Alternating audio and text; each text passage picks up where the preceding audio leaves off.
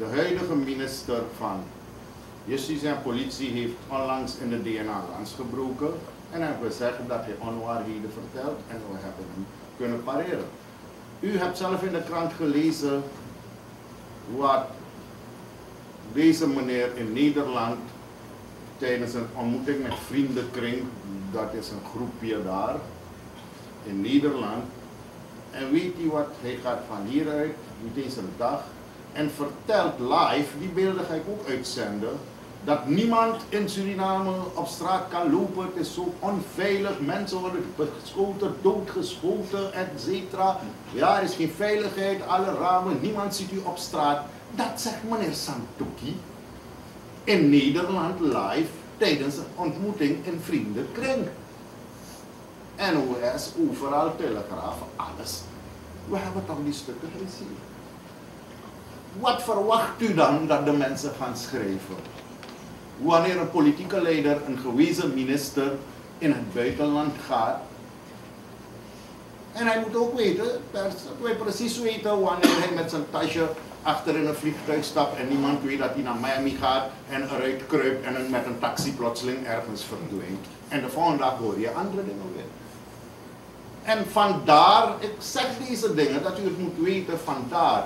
Maar in de rating, u loopt toch, u bent vrouw, u loopt en pak, laat iemand een ketting pakken en wegrennen. Benschop sluit hem zo op. Er zijn mensen die proberen, vroeger had je een andere issue.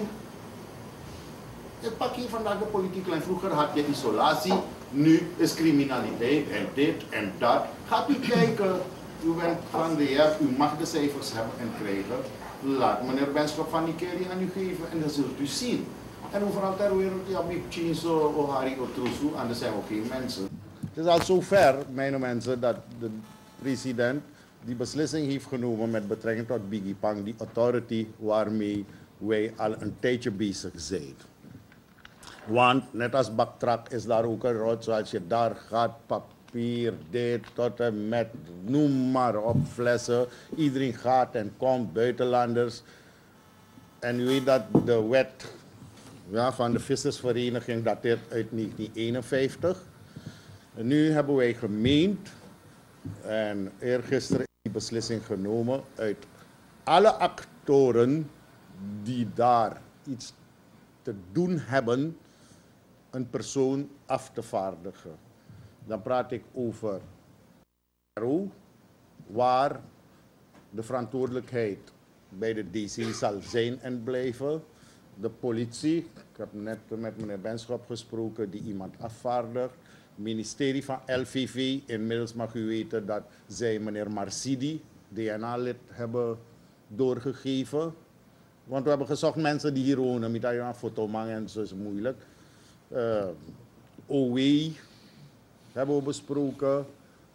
Uh, ROGB, LBB, want het valt als bijzonder beheersgebied onder hun. Noem maar Nimo, Sanga, dit soort dat.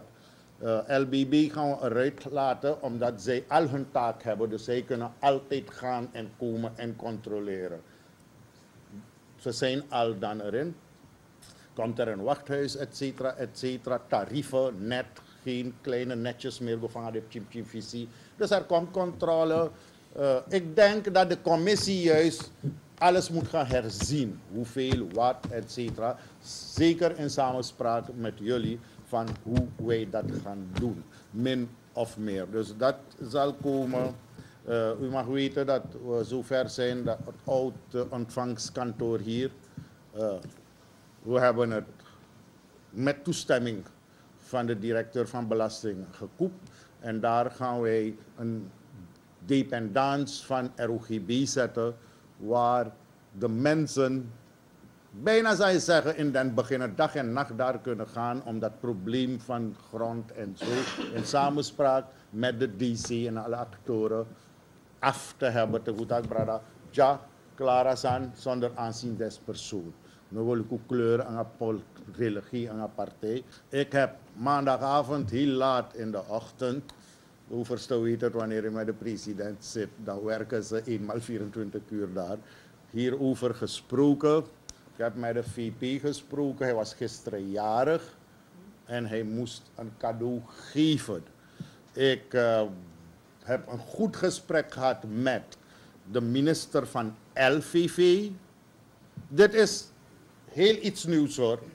Is niet die ene van meneer Sital. Als dat ook komt, zijn we ook blij. Eerlijk waar. Waarom het niet van meneer Sital is? Omdat ik heb gelobbyd bij mijn mensen in de DNA om een suppletor begroting in te dienen.